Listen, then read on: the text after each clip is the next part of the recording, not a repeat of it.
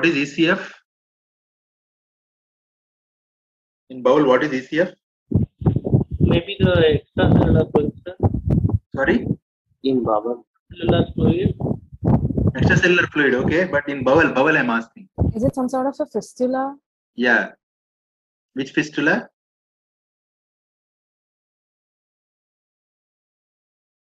It is a fistula. It is a enterocutaneous. Enterocutaneous fistula. So what happens is when we operate, it is also most common iatrogenic. When we operate, accidentally we may injure a part of our bowel. Okay. So this will cause leakage of the contents through the abdominal wound onto the skin.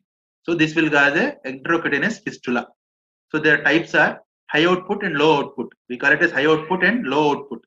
High output is more than 500, low output is less than 200. Okay.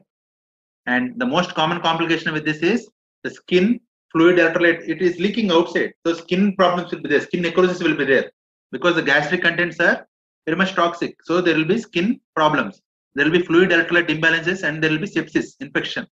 Okay. Highest electrolyte imbalance is caused because of duodenal fistula. Okay. So, what are the principles to principles to treat this fistula? SNAP principles. They are known as SNAP principles. Sepsis control. You, you control the infection first. You then treat the nutrition aspect of the patient. Anatomical assessment. Do an anatomical assessment by doing an investigation properly, and then plan for surgery. So these are the SNAP principles. SNAP Anatomical principles. what, sir? What? Anatomical? Anatomical construction reconstruction do a ct and find out where the anatomy how is the fistula lying like okay? Then P is? p is plan for surgery. Oh. okay these are snap principles. And this fistula should close by itself. Otherwise only sometimes they will be not closing. Okay so the factors preventing the fistulas are high output fistulas won't close low output will close. And friends. The mnemonic is friends. F is foreign body. R is radiation. I is infection. E is epithelialization. N is neoplasm. D is distal obstruction. S is sepsis. If any of these factors is there the fistula won't heal. Okay? So you have to remove. If any foreign body suture is there you have to remove if any radiation is there you have to stop it.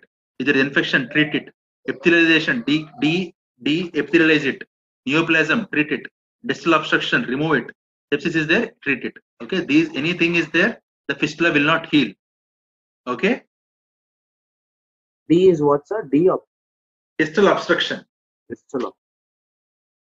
distal obstruction means suppose this is the duodenum this, this is the jejunum if there is a distal some some uh, is there here there is a fistula here.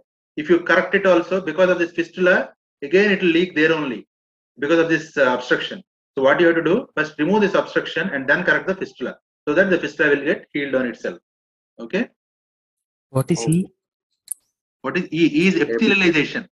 The fistula if it gets Okay. epithelialized that means it became mature. Then it is very difficult to heal it so immature eyes, it is not having any epithelium. Only tube then it is easy to treat. Isn't it? And Okay. N was for? Which one? N. Neoplasm. neoplasm. Okay. Now coming to Hirschsprung's disease.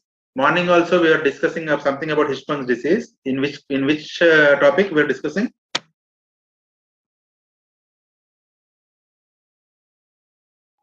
Esophageal. Achalasia cardia. Yeah. See these two points. There is failure of migration of neural crest. There also there is failure of migration of ganglion cells. Okay. So here see the dilated part is normal, constricted part is abnormal. In achalasia, Dilated part is normal. the dilated part is abnormal and constricted part is normal there. Okay. Oh, yes. That, that is the difference. So, So it is can you most common. once again, please? Sorry. Last slide, the last slide. Okay. So this disease most commonly involves the rectum. It most commonly involves the rectum. It may involve any part of the intestine, but most commonly it involves the rectum. So what are the clinical features? In newborn, there is delayed passage of meconium. See here, the obstruction is at the almost the end in the rectum. So the patient, the newborn is not passing meconium, delayed passage of meconium. You have to suspect this one. In children, there will be constipation with fecal soiling. In adults, there will be constipation alone. Okay. So these are the clinical features. Whenever a patient is constipated, children, delayed passage of meconium, you have to suspect something of Hirschsprung's disease. So investigations, what is the investigation of choice?